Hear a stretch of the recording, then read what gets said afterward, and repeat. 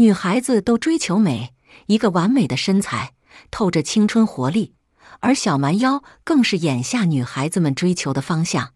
那么，小蛮腰这个称呼又是怎么来的呢？今天说说小蛮腰。小蛮腰的由来和唐代大诗人白居易有关，确切的说是跟白居易供养的女姬有关。自古才子多风流，像白居易这种才子中的才子，性情自然也是风流中的风流。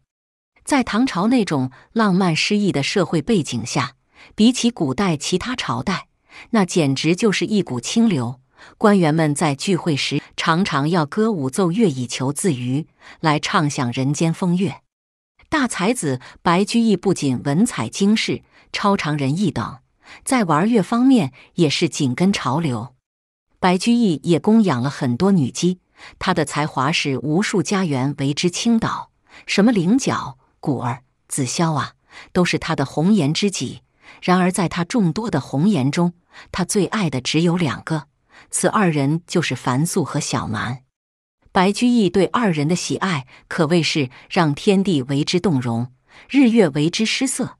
他曾为他们俩写下“十年贫贱是烦蛮”的深情告白，可以看出白居易对二人的喜爱之深。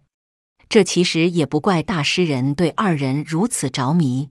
据传，樊素擅长唱歌，歌喉那叫一绝；小蛮精于舞蹈，姿态翩翩。两人一静一动，那场面算得上天仙落凡间。善唱歌的樊素和精舞蹈的小蛮。使诗人产生了无限的诗意。孟起本是诗事感描述这段故事，说道：“白尚书姬人樊素善歌，妓人小蛮善舞，常为诗曰：‘樱桃樊素口，杨柳小蛮腰。’”不得不说，白居易作为我国的诗王，还是有两把刷子的。樊素的嘴型小巧，为诗胭脂，看着也光泽鲜艳；小蛮的腰便如杨柳纤纤。就是樊素和小蛮听了这样的赞美，也是暗暗自得。自那以后，人们都觉得这形容实在是妙，实在是高。为博得美人一笑，人们就用樱桃小嘴来形容女子口小，小蛮腰来形容女子腰细。